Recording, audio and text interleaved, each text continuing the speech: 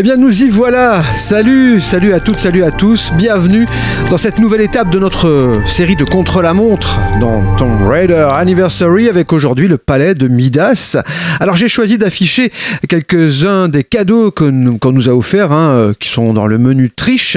On va le voir dans quelques secondes. Ces bonus, on les avait déjà décrits, nous permettent entre autres de voir le niveau d'énergie des animaux euh, et des autres ennemis que nous combattons. Je sais pas pourquoi je dis animaux, il n'y a pas que des animaux. Ah, il y a quelques humains aussi. Donc vous le voyez, j'ai aussi mis l'oxygène infini et, j'ai choisi euh, de mettre une Lara en or. Évidemment, parce que bah, dans ce niveau, vous vous souvenez, c'est la fameuse main de Midas qui transforme tout ce qu'elle touche en or et on peut, si on le fait par hasard ou si on désire le faire par amusement, on peut voir Lara se transformer en or. Ici, eh bien, j'ai décidé qu'elle le ferait tout le niveau de cette manière-là. Alors dès le début, vous savez, c'est très difficile. Hein. Il y a ces gorilles qui nous attaquent. Et j'avoue que, j'ai eu quelques difficultés. Hein. J'ai dû m'entraîner pour refaire cette scène à plusieurs reprises et, et la réussir. Ah oui. Alors là, série d'accrochages et je vais vous laisser entendre dès qu'elle pourra marcher le bruit des pas de Lara lorsqu'elle est en or.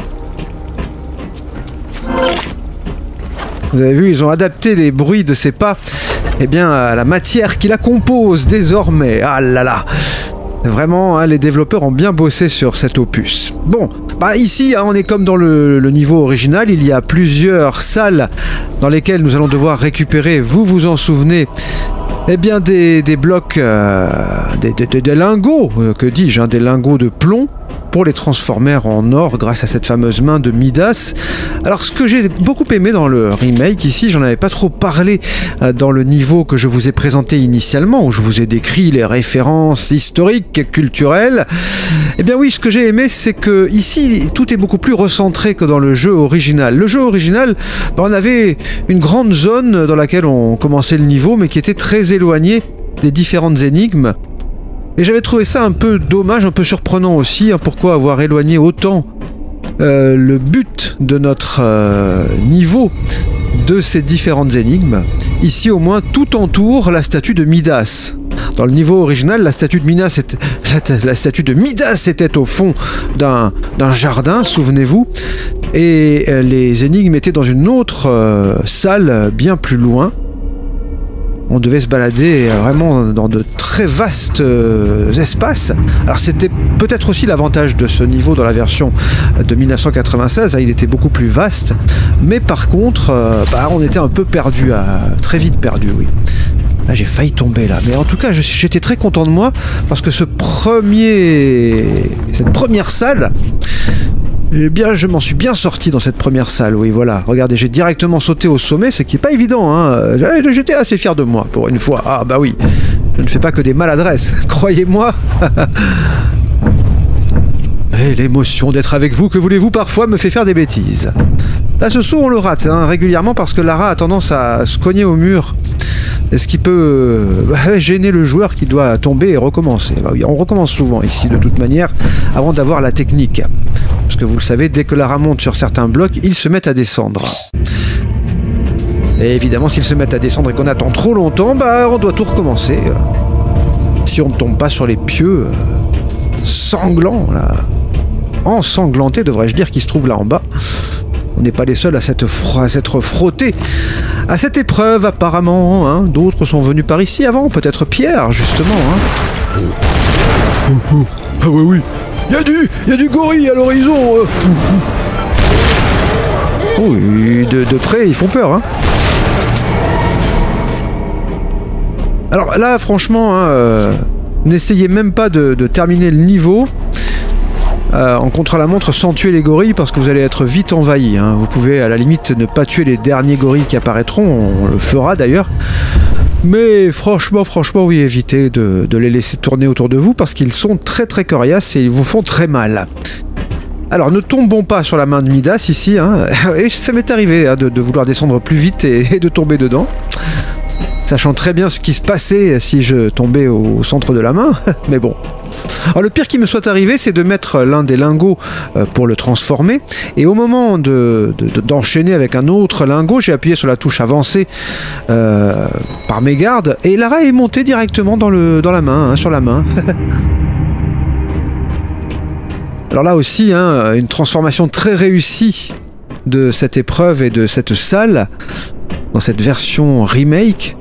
Elle a été complètement refaite et on verra les explications à la fin du chapitre, vous savez, lorsqu'on appuie sur la touche action, lorsqu'on est près d'un de ces, de ces petits cristaux de sauvegarde et qui nous permettent d'entendre les commentaires des développeurs.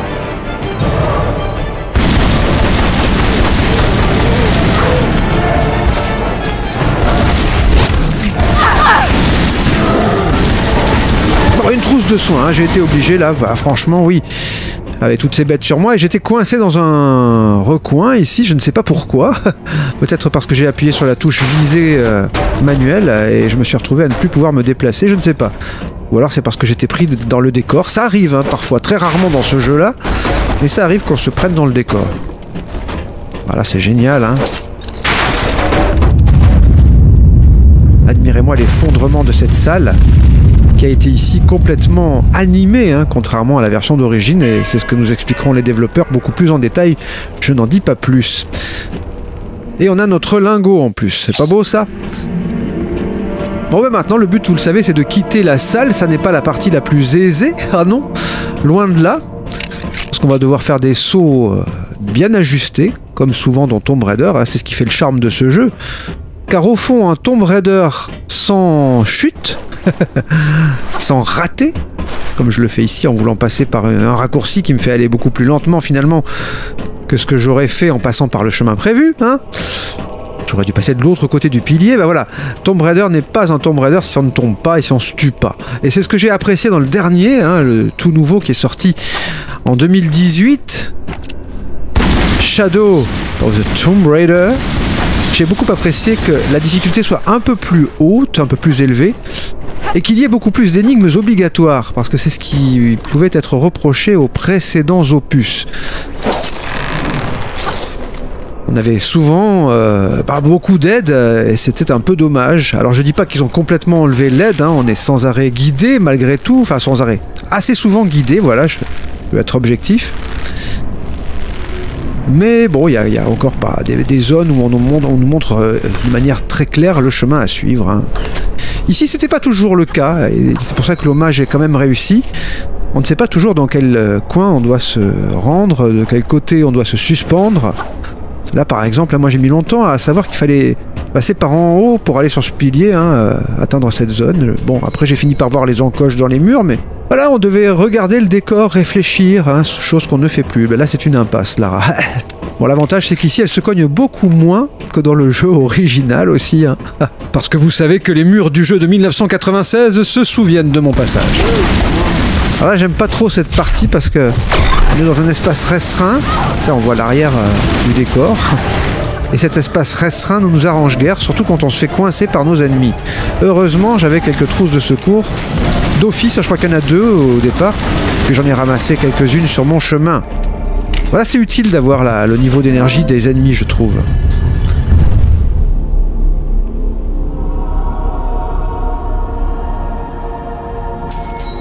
Et nous voilà repartis vers notre dernière étape maintenant, hein, le troisième lingot. Alors bon, j'ai décidé de prendre les raccourcis et de, gaspiller un peu ma santé. Quelle drôle d'idée, sachant ce qui nous attend. Bah oui, parce que la dernière salle, vous savez, c'est la salle euh, du feu. Et si elle était difficile dans le premier, bah ici c'est carrément une épreuve... euh, Bah c'est l'épreuve du feu, finalement. Alors là, il faut pas, faut pas aller vers la lumière. hein. Lorsqu'il y a la lumière, eh bien, il y a, euh, comment dire, un flambeau et on peut pas passer. Voilà, hein, c'est un mur. Mais on a tendance toujours à aller vers la lumière parce qu'il y a une certaine logique. hein. C'est vrai que quand même, même dans le premier, les ombres et, et lumières étaient quand même très bien gérées. C'est ce qui avait surpris déjà à l'époque en 1996 que qu'on ait des zones très ombrageuses, d'autres très éclairées, le personnage de Lara euh, reflète un peu cette lumière. Là j'ai bien fait de tomber parce que de toute manière on doit aller activer un levier sous l'eau. Et surtout on doit se débarrasser d'un croco. Le voilà. Il est là, devant moi. Ah ben, je ne l'avais pas vu.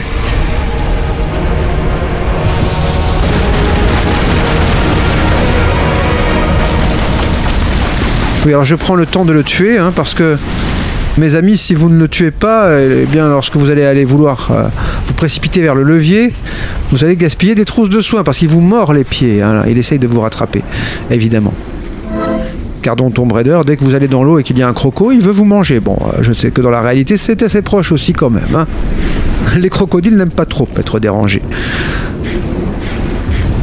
Et les êtres humains, disons, euh, sont assez sensibles aux morsures de crocodiles. Donc voilà, on élimine les espèces, même celles en voie de disparition, vous le savez, c'est tout l'objectif des Tomb Raider depuis la nuit des temps. Voilà, donc maintenant notre premier pilier est dressé fièrement, hein, et on va tenter, que dis-je, essayer, euh, on va tenter d'aller euh, vers lui. Alors là, on peut pas remonter, c'est un comble, hein. il faut aller de l'autre côté. Bah, pourquoi Allez savoir. Les développeurs ont décidé que c'était comme ça.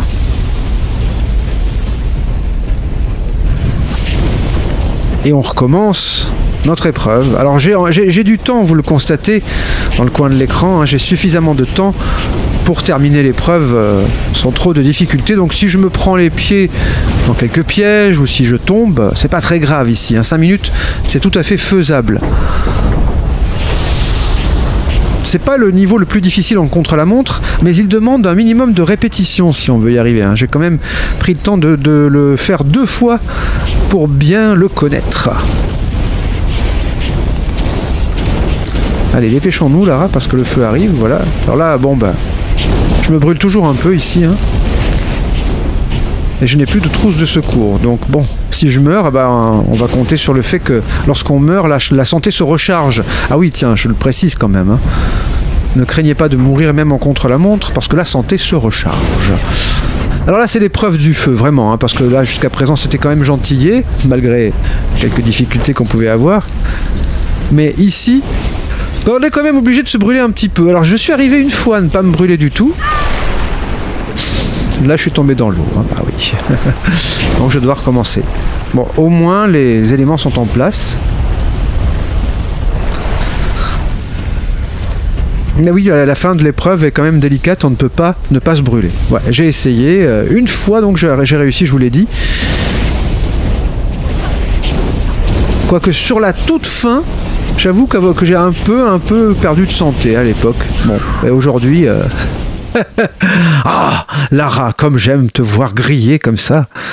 Un véritable barbecue pour Lara, hein, oui. De la Lara au menu, ça vous tente? Les crocodiles ne diraient pas non.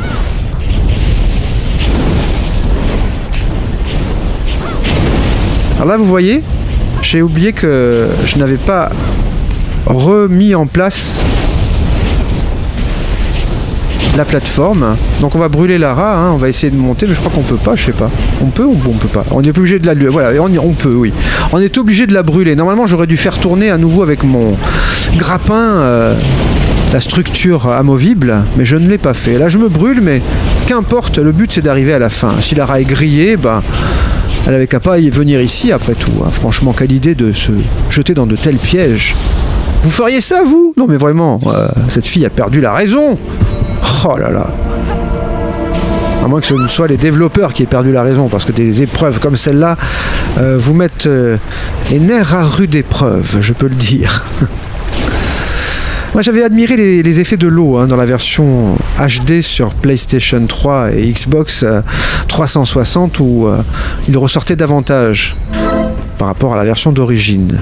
Non, pas là. Ah, je ne m'y ferai jamais. Alors on a tout ce qu'il faut, mais quelques copains viennent nous rendre visite, on sait les accueillir. Hein. On va leur serrer la pince. On va juste leur faire un peu mal et puis descendre, vous voyez Regardez. Aucun risque, enfin attention à la main toujours, hein, je le répète. Alors, je ne crois pas en avoir... Euh, voilà. en avoir en or encore. J'ai voulu aller plus vite que la musique.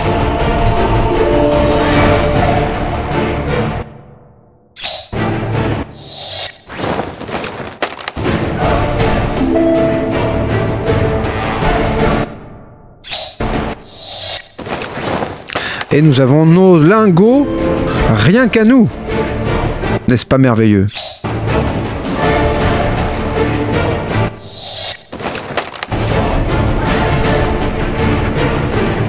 Alors c'est un peu dommage que la musique s'arrête à chaque fois qu'il y a le menu euh, objet qui apparaît. Bon, c'est discutable. Hein. sur PS3, euh, on avait quand même un effet d'écho lorsqu'on appuyait sur Start ou lorsqu'on lorsqu'on affichait les objets comme ici. Un petit écho, euh, mais bon,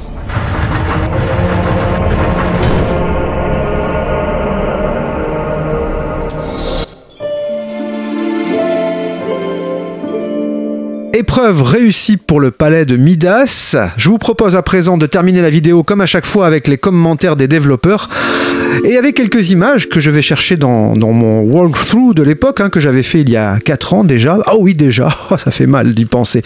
Euh, ce walkthrough, vous, euh, vous enverrez quelques petits extraits dans le coin de l'écran pour comparer les niveaux. Eh oui, c'est toujours utile. Voilà, on sauvegarde nos trésors et on écoute les commentaires des développeurs.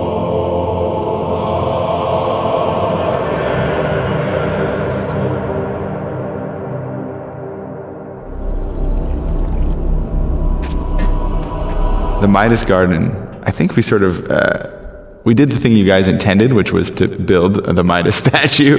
Yeah, I mean the the garden itself was supposed to have well, exactly. I mean we had. Uh, we, we just didn't have the, the, the, resources to build a gigantic statue in the um, in the garden. Right. So it's pretty much um, you had to. There was a garden. Then, if you climbed about on the roof, you could find a little room that had a hand in it, basically, and, and, and had a hand and a foot. Yeah, and that's about as much as we could really do. And the best part was is that the foot with and like up to the knee, I think it was, and then that was the ceiling of the room. yes. Well, uh, yeah, roof had collapsed or something, probably. Uh, but here, yeah, here we've actually gone and, and built the whole Midas statue. But obviously, we had to keep the hand turning things to gold. That was key. Yeah, absolutely. Yeah, so that still happens, which is cool. We originally were trying to think of a way to make the monkeys turn to gold because that would have been really cool. Yes, that would have been. Yeah, but you know, it's one of the few times when in in TR1 when we actually uh, something I remember sort of debating a little bit because all of the other areas, all the other rooms in the Greek level, and I think in fact sort of throughout the whole game, they all made some kind of real world sense. You know, there was they're traps, right? They're sort of ancient mechanisms. And it was only Midas's hand, really, that sort of eluded some kind of magical effect, something that you couldn't explain through any kind of science. And that, I remember, was a really tough call to make because the goal was not to break the rules of sort of reality.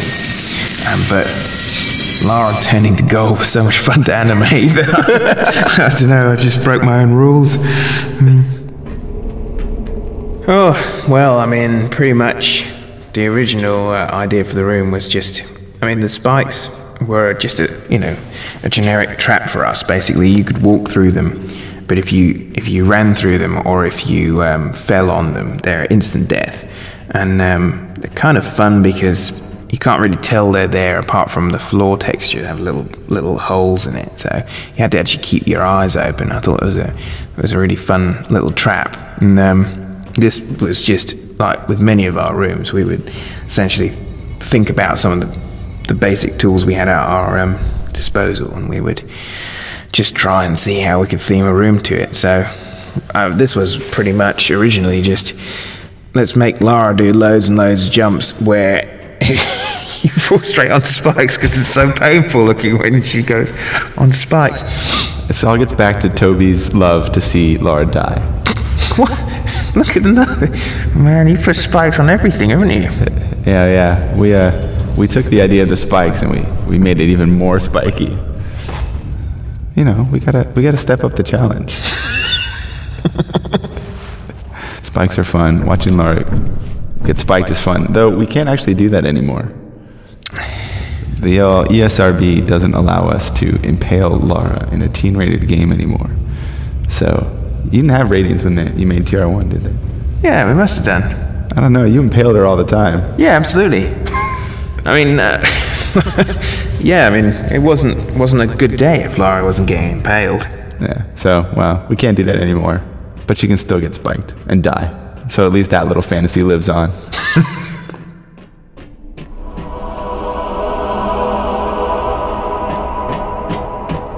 So this was uh, one of the three sort of challenge areas off of the Midas area. Right, because they got three metal bits you have to change into gold to get a door open. The lead bars that must be turned to gold. Lead to gold, very alchemical. And um, basically, other than the basic tools of sort of traps like rolling balls and spikes and stuff and the breakable floors, the only thing that we really could do in the original TR1 engine was essentially swap rooms. We could take, we could build two rooms that were identically sized and we could swap them so long as Lara wasn't in it, in that room, basically. So we, we actually managed to get quite a bit from that, and this this this the sand puzzle was um, basically this kind of concept of know, if you was to if you was to pull out the support of a floor, then the whole room would, would crumble and fall apart above type of thing, and you'd be, and get a completely different layout. So you could essentially run move across the room two different ways. Right. The, the whole real sort of nature of LARP, pulling out a foundation of a column be damned. Yeah, exactly. Yeah, but um, and that was pretty hard for us as well because I mean we, we it was kind of difficult to sell the column. We just had to have like basically a, a block there you pulled out, and then the world sort of rumbled. And when you went upstairs, it was all different. But of course, fabulous new technology. That's right. Now you go down in the room and it rumbles and some sand falls through. and then you go back up and the room's changed. That's good, yeah. We've come a long way in uh, over a decade. It's actually one of the things we um, I wanted to do was be able to show the actual changes that you know basically just sort of fake an animation of, of the change in environment. And we actually did that a little bit in the original TR1 on the last level where we actually sort of cut away and showed an animated object. And then we did the room swap. And, it, and that makes it a lot stronger but this particular one even you guys couldn't chew off could you? Whole room collapsing and turning into Yeah, that was a. It, we, we tried to pitch that, and the producers came back and said, uh, "No, we don't have. You don't get to build two versions of this room." So we did one, and we did what we could. It's it still sells it, I think, at least as well as the original Tomb Raider did.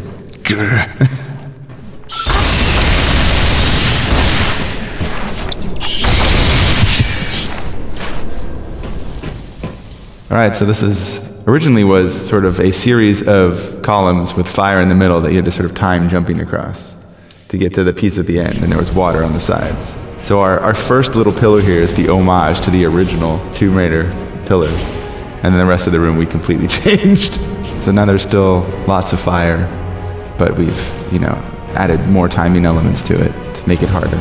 Well, originally, um, I mean, the whole point of um, of the room actually was that there was there was actually uh, it was all about the fact that Lara worked like clockwork. So if you kind of start a jump at a certain point, once she lands, there's only basically there's a specific point when she can jump again, and it's it's not like any time. Even if you press the button earlier, it's still going to be that specific time. So you can actually do it sort of like three or four jumps in a row, and you will always jump basically at exactly the same point. So we'd been training people to sort of jump from the very edge, but what we did was we stuck this sort of, sort of start line a bit earlier, so that if you start, if you actually literally jump or started running from there and then jumped, then you could make the entire series of jumps in one go, right? And that was the only real way to essentially get through it without being burned. And the, the original Tomb Raider, what happened if you walked into fire was that a tiny little sprite flame would come out of her, the back of her shorts, which was telling you that she was on fire, and uh, then uh, um, then you could jump into the water. So actually, well, I think this ended up being possibly one of the biggest, sort of like hardest parts in the whole game. Uh, I think pretty much everyone who played it had a massive amount of difficulty trying to actually do it, and um, from what I understand. I think most people default into literally just running through the fire and taking health packs until they can pick up the thing at the far end and jump in the water um, to save themselves, which, well, didn't end up being exactly what I was hoping for. And probably not as fun as you had originally intended. No. So we tried to make it more fun this time. Not so cruel. Yeah. Voilà, nous clôturons ici ce contre-la-montre. On se retrouve très bientôt pour l'étape finale de la Grèce En attendant, je tenais à remercier les tipeurs qui ces derniers temps ont contribué eh bien, à récompenser, on va dire, mon travail. Merci à Estec et merci à Scapouche. Merci à vous deux et à tous ceux qui ont fait des dons réguliers chaque mois. Ça me touche toujours beaucoup. Voilà, n'hésitez pas à commenter. J'essaierai de, de répondre dans les prochaines vidéos de, de ces contre-la-montre. En attendant, que vos journées soient longues et vos nuits plaisantes. À très vite